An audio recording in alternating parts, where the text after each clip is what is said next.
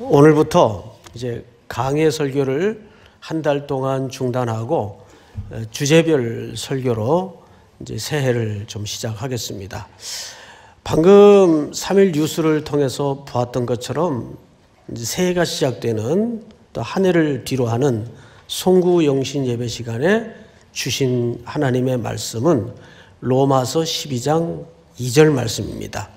오늘 여러분들이 혹시 예수 3일이라는 우리 매주 발간되는 잡지의 겉표지를 보신 분들은 아시겠지만 그 구절이 전면에 커버 스토리로 적혀 있죠. 한번 읽어 드리겠습니다. 너희는 이 세대를 본받지 말고 오직 마음을 새롭게 함으로 변화를 받아 하나님의 선하시고 기뻐하시고 온전하신 뜻이 무엇인지 분별하도록 하라. 로마서 12장 2절 말씀이에요. 사실 여기 한 해 동안 내내 좀 강조하고 싶었던 주제적 단어가 분별하도록 하랍니다. 무엇을 하나님의 선하신 뜻이 무엇인가. 그래서 오늘은 그 첫 번째 시간으로 하나님의 선하신 뜻을 분별하는데 가장 시급한 시대적 화두가 뭘까? 평화입니다. 평화. 어, 요즘 제가 심심치 않게 받는 질문이 어, 또 마음 아픈 소식이 이런 겁니다. 목사님은 현 정부를 어떻게 생각하십니까? 입장을 좀 밝히십시오. 또 한켠에서는 태극기 어떻게 생각하십니까? 광화문 나가야 되지 않는 거예요, 우리도? 이런 질문을 받습니다. 저 오늘 서초동 갑니다. 촛불 들러. 그 듣습니다. 근데 제일 마음 아픈 것은 아, 우리 교회는 왜 이렇게 정치적 색깔이 없냐? 나 3일교회 실망스럽다. 안 다닐랜다. 그래서 떠난 형제가 있다는 또 아픈 소식도 들었습니다. 자, 그러면 한 공동체를 마지막 책임자의 자리에 서서 섬기는 제 입장으로서는 어느 쪽에서 답변을 하든 욕을 먹게 돼 있어요. 그렇죠? 어, 우리는 정치적 얘기 안 한다. 그러면 정치적 색깔이 없다고 힐난하는 쪽에서는 뭐 그런 게 다 있냐? 또 나는 태극기 반대한다. 광화문 집회 반대한다. 그러면 태극기 쪽에서 욕을 해요. 또 현 정부가 다 주사파에 넘어갔다. 어, 이러다가 적화는 됐는데 통일만 남은 거 아니냐. 또 이제 이런 볼멘 소리를 하는 분들이 있단 말이에요. 자, 어느 쪽으로 답을 해야 여러분 만족하겠습니까? 저보고 그래서 자꾸 입장을 밝히래요. 그 오늘 밝힐 거예요. 네? 뭐 큰 기대는 하지 마세요. 아, 그래서 오늘 이 첫 번째 시간에 여러분들과 좀 같이 하고 싶은 본문이 베드로전서 3장입니다. 자, 3장에 오늘 첫 번째 구절을 좀 볼까요? 8절. 자, 마지막으로 말합니다. 마지막으로 말하노니 여러분 앞을 잠깐 좀 봐주세요. 헬라어법에 마지막으로라고 시작할 때는 결론이나 순서상 이제 끝부분이다라는 의도나 의미가 아닙니다. 마지막으로 라고 말할 때는 지금부터 중요한 얘기를 하겠다 그 뜻이에요. 이게 본론이다 그 말이에요. 이거야말로 내가 하고 싶은 말이다 그 말이에요. 베드로 사도가 앞에 어떤 이야기를 쭉 하다가 그래서 내가 마지막으로 말한다. 이 말은 이제 내가 할 말이 거의 다 됐다. 이런 의미가 아니고 이제부터 정말 중요한 얘기를 하겠다. 이런 강조의 차원에서 이후에 등장하는 주제들을 이해하셔야 됩니다. 자, 마지막으로 말하노니 너희가 다 마음을 어떻게 하라 그랬어요? 같이 하여. 자, 이 말을 그렇게 강조하듯이 해야만 됐던 시대적 이유가 있겠죠. 공동체적 이유가 있겠죠. 지금 이 글을 듣고 이 중요한 말을 유념해야 될 어떤 공동체나 어떤 시대가 어떤 상황이 있다는 뜻일까요? 예, 갈등 상황이 있다는 뜻입니다. 지금 보세요. 지난 한 주 어떠셨어요?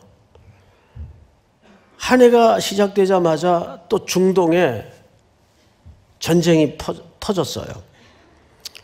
또 미국의 폭격으로 군 수뇌부가 죽고 또 그 외에 많은 인명이 예, 피해를 입었습니다.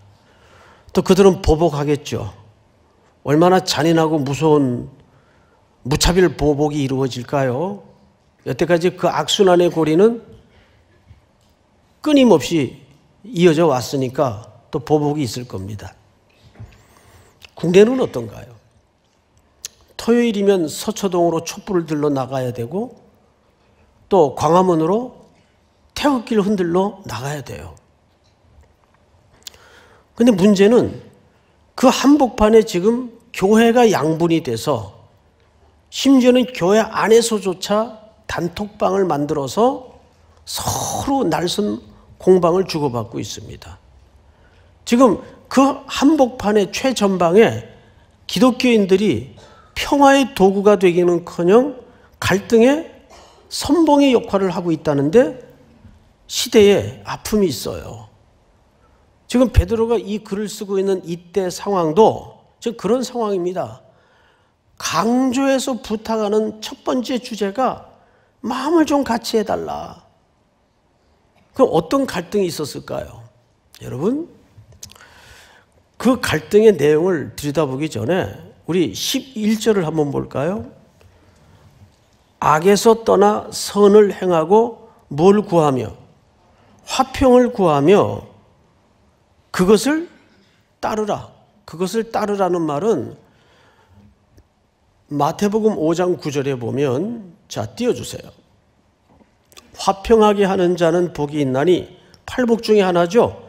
그들이 하나님의 아들이라 일컬음을 받을 것이며 어떻게 하는 자는 화평하게 하는 자.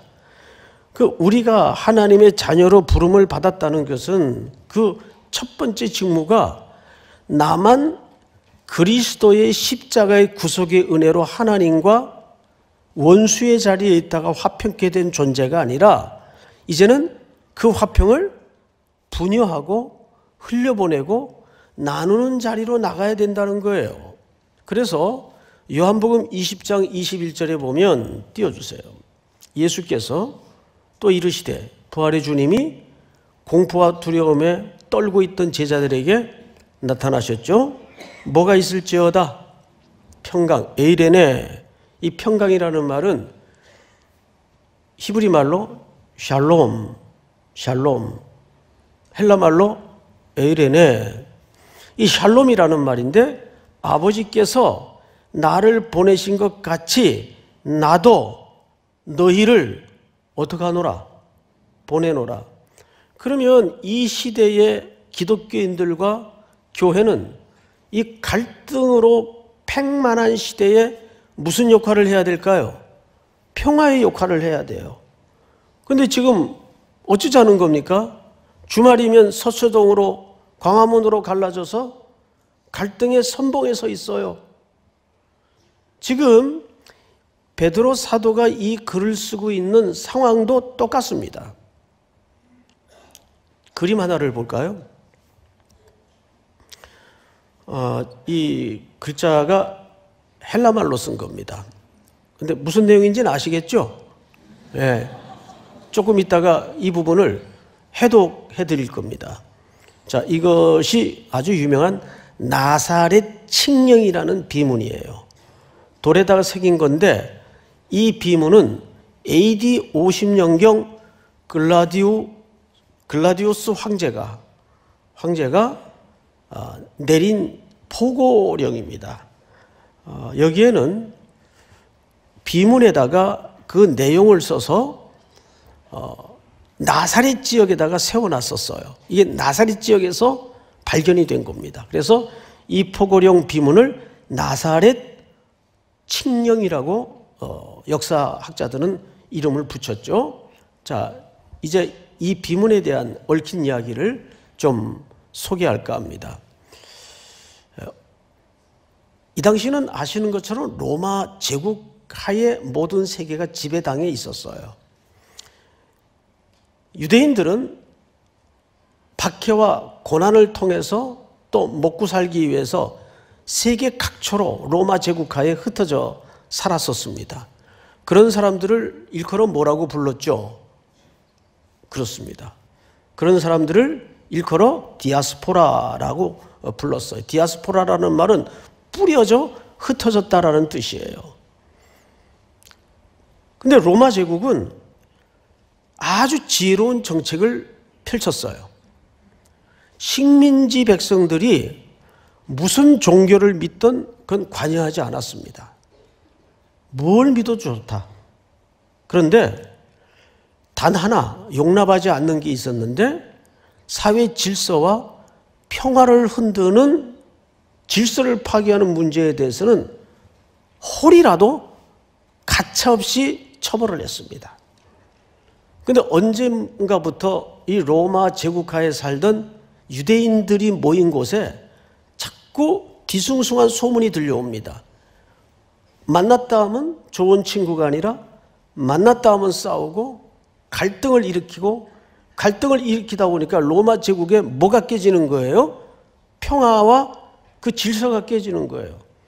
그래서 글라디오스 황제가 부하들을 불렀습니다. 쟤들이 모일 때마다 왜 저렇게 시끄럽게 구냐?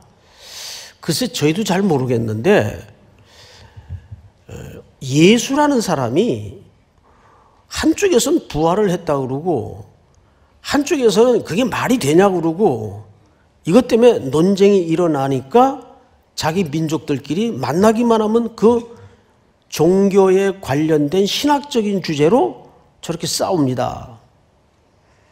그런데 그게 점점점 더 심해졌어요. 그 갈등이 오늘날처럼 태극기와 촛불처럼 그래서 글라디오스 황제가 야 그럴 것 없다. 그냥 다 내쫓아라. 해서 다 내쫓았어요. 자, 우리 사도행전 18장 2절을 한번 띄워볼까요?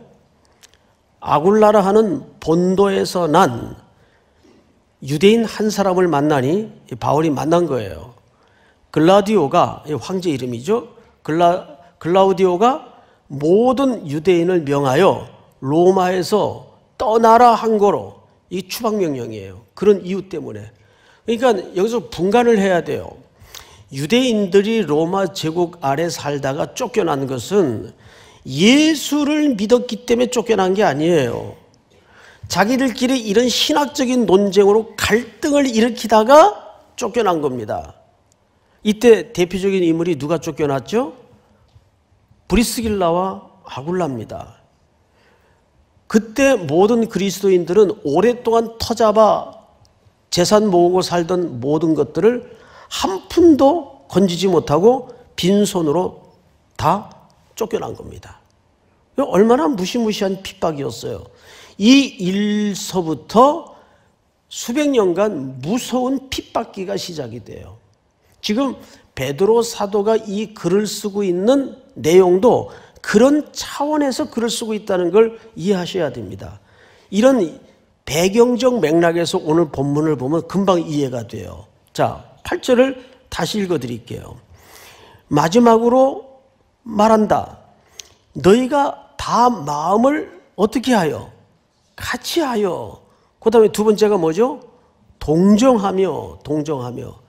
그때는 서로에게 날선 비판으로 맹공을 상대방에게 가할 때입니다. 뭐로?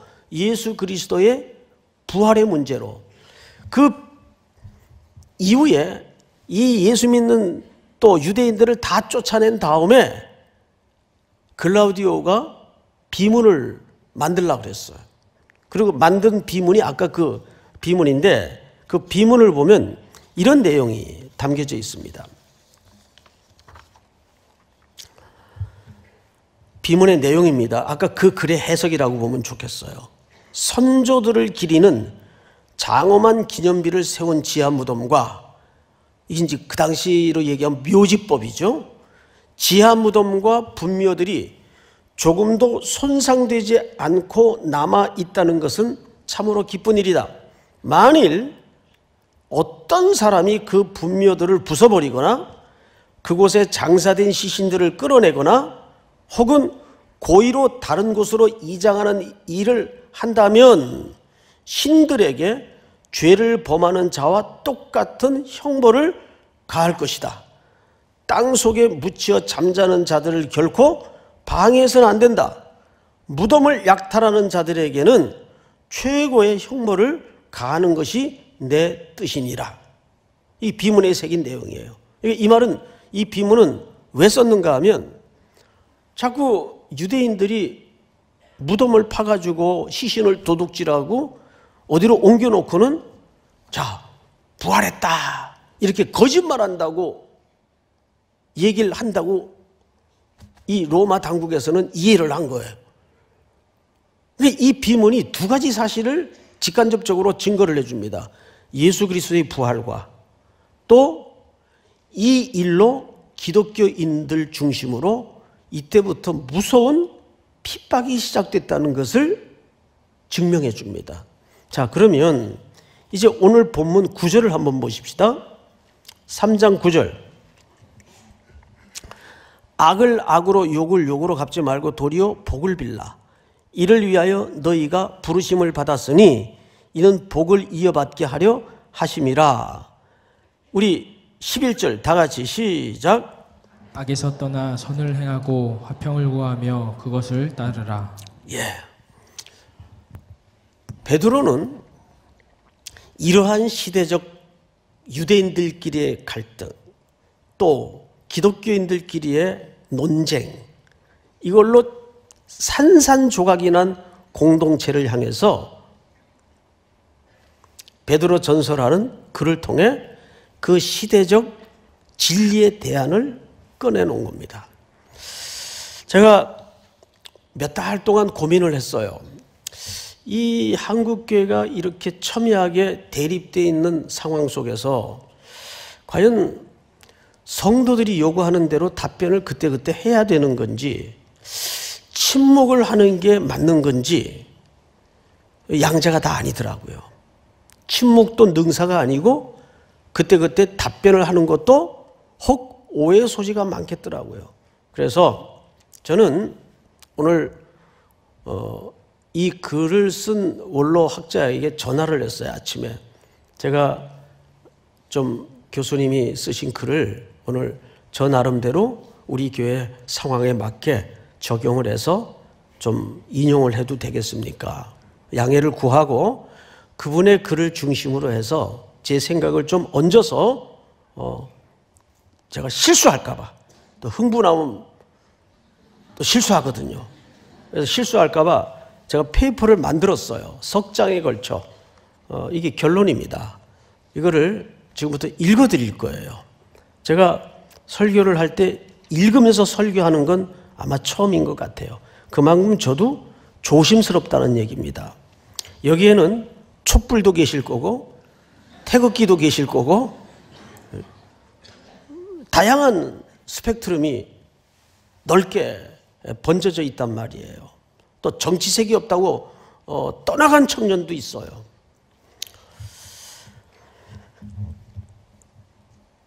지금 한국은 좌파와 우파의 극한 대립으로 몸살을 앓고 있습니다. 마치 1945년 해방 직후에 우익대 좌익의 갈등이 재현되는 것 같습니다. 아, 참고로 저희 아버님은 평생 군인으로 사셨어요. 그리고 6.25라는 전쟁에 참여했던 무공 용사십니다. 아버님이 사형제였는데 사형제가 다 전쟁에 참여했어요. 두 분은 6.25 전쟁 속에 전사를 하시고 지금 아버님은 젊을 때 돌아가시고 이제 막내 삼촌만 지금 남아 계십니다. 그분도 이제는 90을 바라보는 연세가 되셨죠. 그러니까 저희 집안은 전부 군인 집안이에요. 그리고 아버님 세대가 6.25라는 참혹한 전쟁을 겪었던 세대입니다.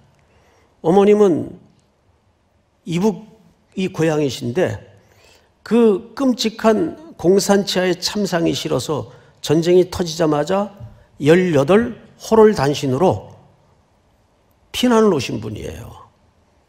북의 학정이 너무 견디질 못해서 그리고 북에서부터 신앙생활을 하셨던 분입니다.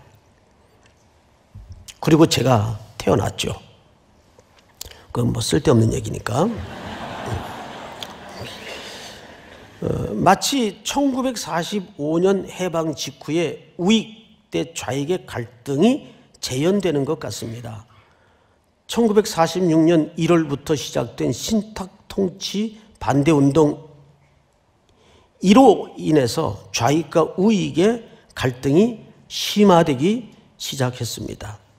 이러한 대립은 좌우 모든 시민들에게 큰 재앙이 아닐 수 없습니다.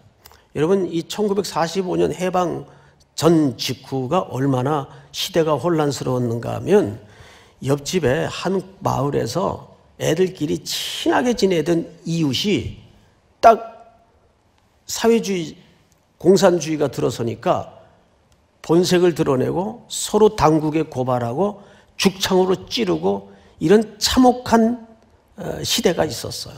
야만의 시대죠. 그리고 지금도 거제도에 가보세요. 그 당시 포로 수용소가 아직도 있는데 그 안에서도 좌익이 총질을 하고 한 달 동안은 전쟁을 했어요. 그 수용소를 중심으로.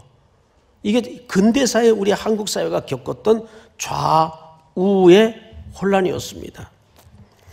조선조 말기에 조정이 4분 5열됨으로 나라를 잃고 서로 싸우던 계파가 모두 속국 백성이 되었던 것처럼 지금의 상황도 국력 낭비로 생산성과 국가 경쟁력을 약화하여 결국 우리 모두를 더 가난하게 만드는 결과를 낳게 될 것입니다.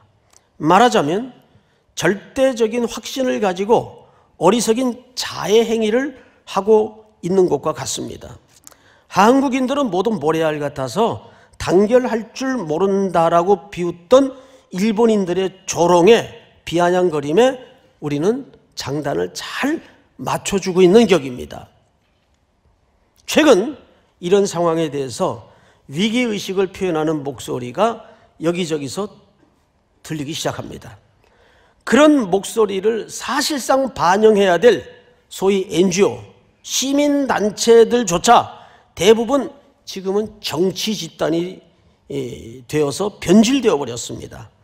갈등의 한쪽 편에 서 있기 때문에 중재와 화합의 역할을 전혀 기대할 수가 없습니다. 지금 NGO 단체가 다 그렇게 돼 있어요. 좌든지 우든지 한 편에 서서 중재의 역할의 기능을 상실했습니다. 이런 때야말로 기독교가 그 임무를 감당해야 하고 책임지는 것이 당연합니다. 그런데 어쩌면 좋습니까? 불행하게도 한국 기독교는 어느 때보다도 더 이념적이 되어가고 있습니다. 지금. 심지어 그 분열의 선봉에 서서 촛불과 태극기 광화문 집회로 갈라져 악순환을 오히려 부채질하고 있어요. 그렇지 않아도 도덕적인 실패로 한국 사회의 신임을 잃어버린 한국 교회가 이 위험하고 어리석은 이념과 썩여, 섞여버린 논쟁에까지 끼어들어 상체를 덧내고 있는 형국입니다. 한국 교회는 문자 그대로 만신차이가 되어가고 있습니다. 여기서부터 잘 들으세요. 사실 제가 이 글 때문에 이 글을 인용하게 되었습니다. 이념이 이데올로기죠. 이념이 종교적인 확신으로 변질된 정치적 쟁점이 되어버렸기 때문에 그 자체로 지금은 굉장히 위험한 초입에 들어와 있습니다. 공산주의와 나치즘이 얼마나 많은 사람의 생명을 앗아갔는지를 생각하면 이념이야말로 현대사회가 가장 경계해야 될 괴물 중에 하나입니다. 포퍼라는 학자가 지적한 대로 이념은 매우 위험한 열린 사회의 적입니다. 이념 그 자체가 종교적인 확신과 섞여버리면 괴물이 됩니다. 다시요. 이념 그 자체가 종교적인 확신과 섞여버리면 괴물이 됩니다. 그것이 다시 기존 종교의 신앙으로 정당화되고 독단이 되면 걷잡을 수 없는 파괴력을 행사할 수가 있습니다. 종교적 순교 정신과 애국 정신이 더해지면 어떤 파괴적 행위라도 정당화될 수 있기 때문입니다. 여러분, 중동의 이 전쟁이 왜 끝장이 안 나는지 아시잖아요. 종교의 확신과 애국이 섞여버리니까 본래의 종교적 의미를 잃어버린 거예요. 그리고 그들의 기준에서는 그것이 의가 돼버린 겁니다. 이게 얼마나 무서운 현상입니까? 그래서 종교 전쟁은 무서운 거예요.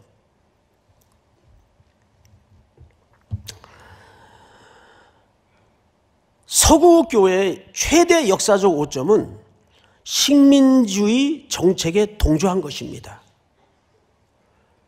지금 이대로 간다면 못지않게 기독교도 씻을 수 없는 오점을 남길 여지가 많습니다. 지금 우파나 좌파에 속해서 열과 성을 다해서 주장하는 사람들은 자신들의 행위가 자신과 타인에게 매우 위험한 불장난을 하고 있다는 것을 알아야 합니다. 이념은 그 추종자들에게는 객관적인 것처럼 보이고 모두를 구원할 진리인지 모르지만 성경의 진리인 그리스도 복음 외에는 민족과 인류를 구원할 진리는 없습니다. 마르크스도 자신의 이론만 절대이고 그에 동조하지 않는 모든 이론은 이념이므로 거짓 의식이라고 폄하했었습니다. 막시즘도. 그런데 그 절대 진리라던 마르크스 주의는 후에 가장 이념의 전형이 되어버렸고 그 객관적이라던 진리 때문에 수많은 인류가 얼마나 비참한 삶을 보냈고 목숨을 잃었습니까? 모든 이념은 역사적이고 상대적입니다. 공산주의는 이미 그 수명을 다했고 자본주의도 심각한 약점들이 속속 드러나서 계속 수정되어 가고 있습니다. 절대적인 건 없어요. 그러므로 어떤 정치 이론에 목을 매는 것은 그 자체로 어리석은 일일 뿐 아니라 결과적으로 자신과 타인에게 해를 가하는 비도덕이 됩니다. 그래서 적어도 성경을 하나님의 말씀으로 믿고 신앙과 삶의 유일한 기준으로 인정하는 그리스도인들은 결코 이념의 추종자가 되어서는 안 됩니다. 신본주의만이 우리가 살 길입니다. 절대가 아닌 것을 절대적인 것으로 착각하는, 착각하고 따르는 것이야말로 우상숭배입니다. 하나님이 가장 싫어하는 게 뭐죠? 우상숭배입니다. 그리스도인이라면 좌파, 우파, 이념의 목을 매는 그런 범죄를 해서는 안 됩니다. 요즘 이념이 다르다고 해서 다른 그리스도인을 적대시하는 그런 사람들을 보면 그들이 이념을 신앙보다 더 중요하게 여김을 알 수가 있습니다. 성경과 보편적 윤리 기준으로서 이념을 평가해야 되는데 이념을 기준 삼아 기독교 신앙과 성경을 판단하는 것은 매우 위험한 조짐입니다. 이대로 가면 이념이 충분히 우상의 지위를 머지않아 획득할 수 있다고 생각합니다. 그럼에도 불구하고 작금의 상황에서 중재 역할을 할 수 있는 것은 교회와 기독교밖에 없습니다.